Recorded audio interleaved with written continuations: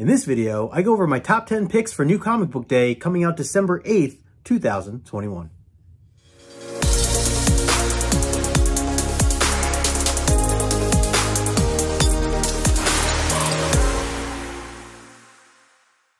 What is up guys, Justin here, aka Know Good Comics, and welcome back to the channel. Of course, this is the video where I go over my top 10 picks for New Comic Book Day coming out next week, which happens to be December 8th, 2021. Absolutely crazy how we are just digging into December at this point. I am very excited because I love the holiday season. Um, I just love these vibes. I love, you know, uh, the idea of presents and, and spending time with family and friends and all that good stuff. So definitely looking forward to these holidays coming around. Uh, hope everybody's doing well. Take a moment, smash that like button if you haven't already subscribe to the channel if you are new. Um, I wanted to take a moment real quick to uh, once again say congratulations to Sparks Comics and Caroline's Comics over at You Promised Me Comics, that channel, because they just reached their 1K milestone over on their YouTube channel. And uh, I, while I wasn't able to be there live with them to celebrate, uh, I definitely uh, sent them a video uh, kind of sharing my thoughts and everything. But again, want to just take a moment to say congratulations, you two. Very excited for your journey and what you what you do for this community in general. And uh, we'll continue to do.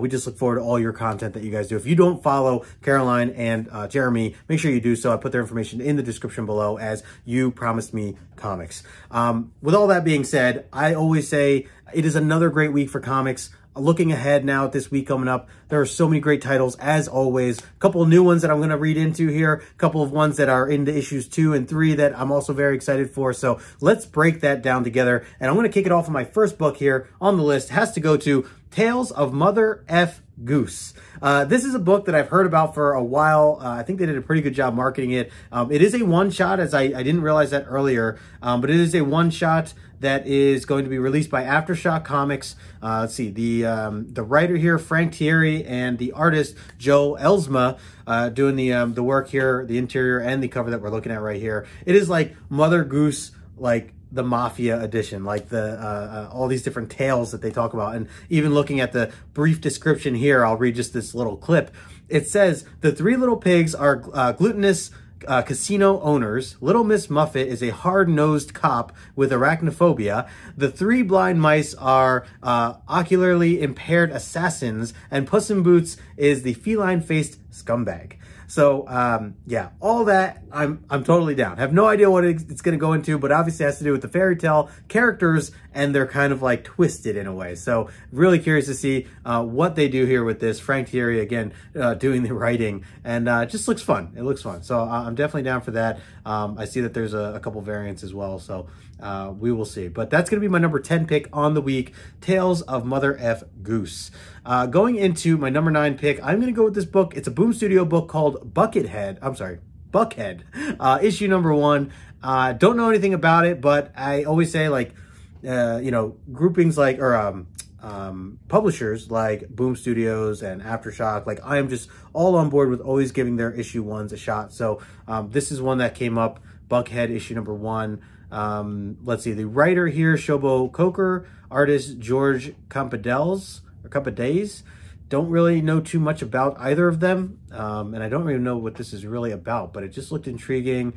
Uh, you got these kids here on the front. Looks like they're being attacked by some sort of magical or mystical power or being of some sort.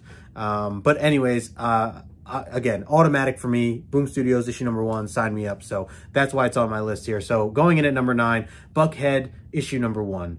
Uh, moving on to my number eight pick. So I know last week I talked about this book and I, I, I don't know if it got pushed back or whatever. Um, but now, you know, looking back through the list, seeing that it's still here to come out uh, December 8th. I want to bring it up again. It's Nita Hawes Nightmare Blog, issue number two. I believe it was higher on my list last week, um, but it definitely is still, um, I wanted to re-include it again in case anybody was looking for it, um, that that book just did not come out yet. Um, uh, I don't know what the, why it got pushed back or what the case was, but um, if you guys are familiar at all with Killadelphia, this is kind of, um, a tie-in in a way that is uh, created within the same world, the same realm um, that uh, that the writer's been doing, Rodney Barnes. So Rodney Barnes doing the writing, artwork by Well-Bee, and uh, issue one was just awesome and stunning all around. So, um, you know, a lot of it has to do with like vampires. It's very dark, very much a horror type vibe. The cool thing with this too is it takes place in Baltimore. So, uh, uh, for those who don't know, I have a lot of family in Baltimore. I'm a Baltimore Ravens diehard fan. Uh, so, you know, it's cool to just kind of see some of those connections. And I am curious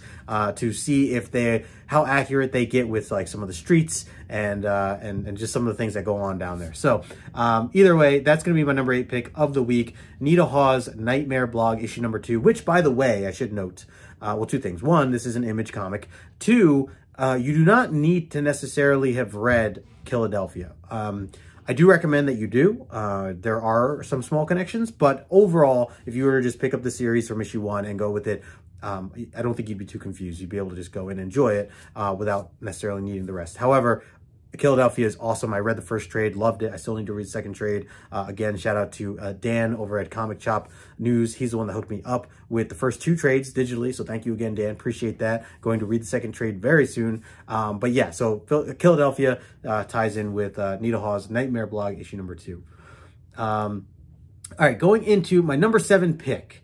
This is a Marvel issue number one here that I wanted to throw on. It's Wastelanders Hawkeye issue number one. I don't know anything about like what Wastelanders is, or I mean, obviously, I looking at this front cover, we see what looks to be Hawkeye. I know there's a lot of hype going on right now because of the Hawkeye series over on Disney Plus that's out, um, which I am in, enjoying as of right now. Um, so, but the thing that really caught my attention here is the one little mention of who this really does involve. It says, witness the never before told story of Hawkeye's training with Stick. Stick is a character that uh, trained Daredevil, uh, if you guys are not familiar with Daredevil. So uh, the fact that these two are being tied together, and I don't know if that's ever been done before. I mean, I guess, well, as it's noted, never been done, never been told before. I don't know if there's ever been hints to that before, though, either, that the fact that Hawkeye working with Stick. Um, but either way, I think it's really cool. Uh, I want to know more about this. I don't know if it's a one-shot per se.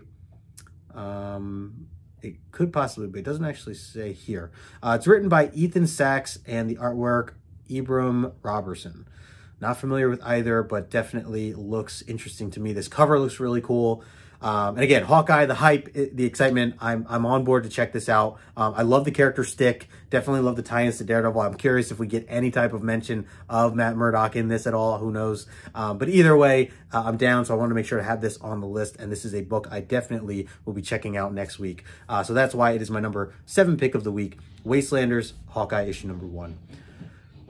All right, moving on to uh, number six, keeping the theme of Daredevil and Matt Murdock, um, we have Devil's Reign issue number one. This is a new series, uh, mini series, I should say. Uh, it's a one out of six, so it's a Marvel event. It's called Devil's Reign. Obviously, Daredevil involved, along with a, a bunch of other Marvel characters, as you can see on this front cover here Iron Man, Captain America, so on and so forth. Uh, there's a lot. Chip Zdarsky's still writing it, which is great because his Daredevil run's just been insane. I'm still behind right now, but I've been loving everything I read. Uh, I know a lot of people have been really big on the Daredevil run that Chip Zdarsky's been doing, all the way even to the current stuff. It's just been fantastic. So um, the other exciting thing to note is that uh, they kept the artist here for this, uh, Marco Checchetto, who amazing, and he's been doing a majority of the Daredevil uh, main title work uh, with Chip. So uh, yeah, very excited for that. He also did this cover that we're looking at here. Um, there are a bunch of variants as well, so uh, keep an eye out for that. I see Peach Momoko was listed here. Uh, John Romita Jr. is listed here. In-Hyuk Lee is listed.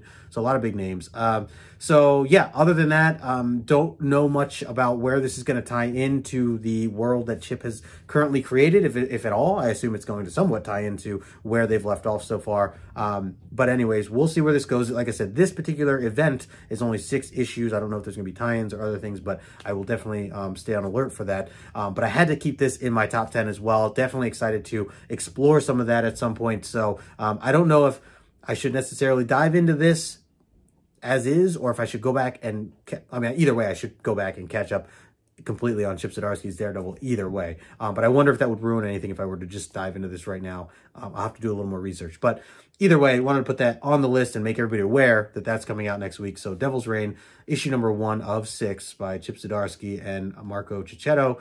Uh, that's going to be my number six pick of the week. Uh, before I go on, uh, always at my halfway point here, want to do a community shout out. And this week's community shout out is going to go to my good friend Kevin over at Superpower Reviews over on YouTube. I'll put his link in the description below. He's also on Instagram as Karate Kevin67. Uh, easy to remember, catchy, very catchy. And if you don't know Kevin, he is such a great guy. Um, he's been such a supporter of mine ever since we first connected. Um, and I know, I mean, I've been on his channel multiple times. He's been on my channel before, uh, interviewed him for Origins, and he is just an awesome, awesome dude. Uh, you could tell this guy just loves comic books, loves the community. He's very much involved. He does a ton of awesome content over on his YouTube channel uh, that I highly recommend checking out. They put a lot of high quality into it. He films in like a fancy studio and all this other stuff. He's very knowledgeable of everything that he talks about. Um, and believe it or not, he does karate, hence the name Karate Kevin. So um, definitely check out Kevin. Kevin, if you're watching this, I appreciate everything you do, man. Love, uh, always love and support everything that uh, that you're all about, all the efforts that you put into your channel, and uh, definitely want to keep that going. So again, anybody who's not following Kevin, make sure you do so, and definitely reach out to him over on Instagram for sure. Hit him up. Let him know I sent you there. Start talking comics with him because I know he's down for that. So um, that's going to be my uh, community shout out of the week. Uh, let's jump back into the list now, going into number five. And of course, I'm going to go with another image comic book, A Thing Called Truth issue number two.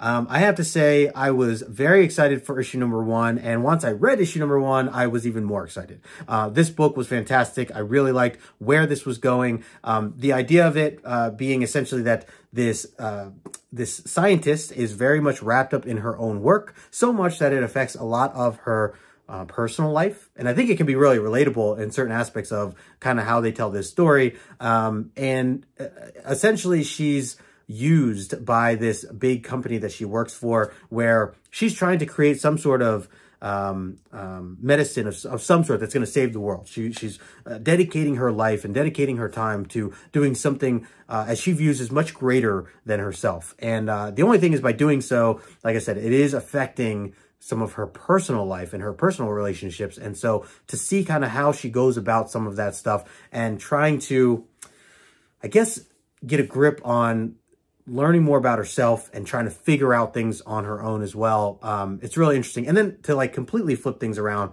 she gets into this crazy car chase and she meets someone else who's also uh, going some through some things that they never met before. Um, and yeah, there's a lot of things that happen here now I kind of think about it. Um, but it's definitely really well done. This first issue that I read uh, was really, really well done. Um, the uh, writer here, um, oh man, I'm going to butcher this. Iolanda Zanfardino, maybe that sounds pretty right. Um, and the artist here, Alyssa Romboy or, or Rombali, sorry, Rombali. Um, they, uh, I definitely enjoyed it. Like I said, that was issue one. This is just uh, coming out now for issue two, uh, and I'm very curious to see where this goes. It may be something that might be better in trade overall. I do. I feel like lately, and I say, I mean, I've talked about this before, but I feel, I, I feel like lately a lot of the, um, not even just image, but just um, indie books in general, a lot of them, the way they're written, it just seems that they uh, connect or they flow better or you get more, in a sense, um, through a, as a trade. Um, but either way, I mean, it's not going to stop me from diving into this issue. And uh, if you read issue one, I think you'd be on board with me as well to continue exploring this. Um, but if not, I understand if you want to wait, read this all in trade. Uh, I think that experience is probably also going to be very good. So either way, keep this on your radar. Um, definitely looking forward to this next week. So that is going to be my number five pick of the week, a thing called Truth, issue number two. All right, going into my number four pick, um, it is a DC comic book, Superman, Son of Kal-El. Uh, this is the 2021 annual issue number one. And of course, Tom Taylor still doing the writing for this. I have been loving this series. Um, and for the, if you've been following my page, you already know that. Um, so I don't think there's much to say here other than um, I noticed the artist, Steve Pugh is going to be on here. I'm saying that right, Pugh. Um, and there are some, well, and this cover here is by John Timms, uh, who's been the uh, regular the um, the ongoing artist for the main series. Um, so yeah, definitely looking forward to kind of seeing where they change up, where the story is going to go with, um, how it's going to tie into what what we've had so far in the regular title. Um, and yeah, if you haven't been reading the Superman stuff, I mean, it definitely is not too late. Um, I think the was it the fifth issue that just came out or the fourth issue. Uh, so you know if you haven't been reading any of it, now is definitely an appropriate time to jump in um, uh, and catch up, I should say, and then jump into the annual. annual. Um, so that is going to be my number four pick of the week. Tom Taylor, Superman, Son of Kal-El, the 2021 annual. All right, going into my final three here, top three. Um, all all three of these could easily be number one. Um, I feel like I say that every time, but it really is true. Um, I'm going to go with an X-Men title here, Inferno, issue number three. This is uh, continuing to build on the finale of what Jonathan Hickman has created ever since House of X, Powers of X, and and everything that's come after that, the Dawn of X stuff, uh, X of Swords, all that stuff you know, leading up to this big event, this this final mini series that he's been putting together. Um, and issues one and two have been completely epic. I've been absolutely loving it. I'm really glad that I caught up on all this stuff. Shout out to Jason uh, for helping me get through and guide my my way to uh, all the main uh, reading materials that uh, I needed in order to get to this point. Um, you know, I did skip some things around, but I definitely will go back at some point and, and, and, you know, take some time and read some of the things that I skipped, but mainly to stick to the main storyline and see where things are going. Again, especially from House of X, Powers of 10, like that stuff, um, the way it kind of re-jumps right back into this is really cool. And if anything, I probably should go back and read some of that again just to get you know, refamiliarized with some of the parts of where they left off. Because I mean, I'm already I'm already seeing it, and I'm already being somewhat reminded in Inferno. But uh, I, I, think it might even help even more with the experience of it. But either way, it's been fantastic. Um, hopefully, you guys are caught up on this. If not, uh, I hope you get there sometime soon uh, because Inferno's been really really good. So that's why it's my number three pick of the week. Inferno issue number three. Um, all right, going down to my number two pick here.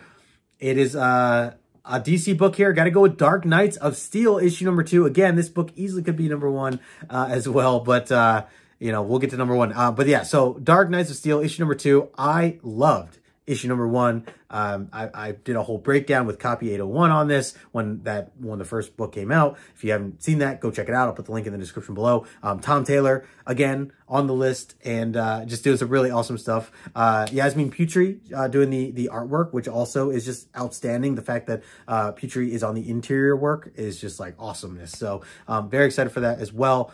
Um, and if you're not familiar with it, it is basically like a very much, it's a, it's a twist on your, what you know as Batman, Superman, like those characters, um, it's in, it's basically all takes place in a medieval time period. Um, and a lot of things twist, a lot of things change. So, you know, if you are getting into this, um, set your expectations and understanding that there's probably going to be a lot of unique storylines and unique, um, uh, characterization and, and, character builds and, and, relationships that might be very much different or tweaked to what you are used to with um, characters like uh, Batman, Superman, uh, I know uh, Wonder Woman, and um, um, uh, like Harley Quinn uh, as well. So, you know, a lot of things kind of change around, but it is a lot of fun, um, and I, am looking forward to it. There are a lot of twists and turns right off the bat in issue one, and I'm hoping that there's a lot more. And it's only a 12 issue miniseries, so I, I like that they, you know, they're keeping it within um, a read, a reasonable read, and I just see myself most likely wanting to get a hardcover of this when it comes out because I, I'm just loving it already. So, um, anyways, that's my number two pick of the week. Dark Knights of Steel, issue number two by Tom Taylor.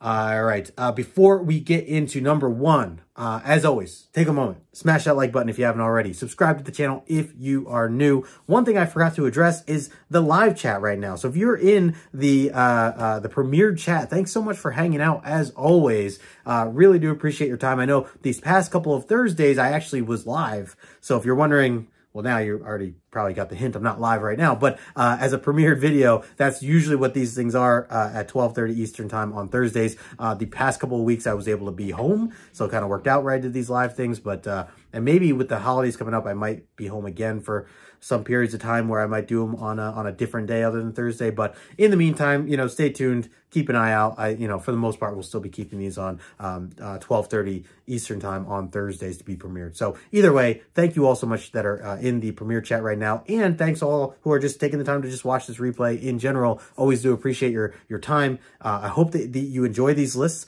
Uh, I'd love for you to leave a comment in the comment section below. Let me know if you agree with this list, if you think I'm missing something, uh, uh, if you have a recommendation for me, I'm always open for that as well. So keep me posted on all that. Um, but hey, let's get into number one. And of course, I got to go with the finale here of Swamp Thing, issue number 10. And I, I really, I should say finale because there are, are, are already hints that uh, uh, Ram V is going to continue with this series, or this series is going to continue. I, I don't um, know all the details with how it's going to go. I, I, um, I'm sure Ram V is going to still stay on it. I don't know if they're changing anything else up about it other than that. But um, either way, I'm I'm very excited. This has been a fantastic series. If you guys have not read Swamp Thing, um, I've said this in the past. I feel like so the cool thing is Swamp Thing. If you don't know, if you haven't been watching my videos, Swamp Thing has been a top three on almost all my lists. Anytime that it's like about to come out. So of that time or that that uh, time of the month or whatever, uh, it's it. I'm pretty sure it's almost always been a top three book, and that's how fantastic it's been.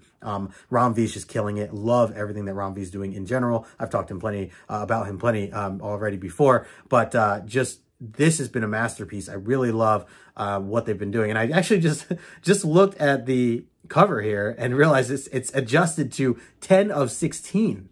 So it seems that they're still putting an end to this.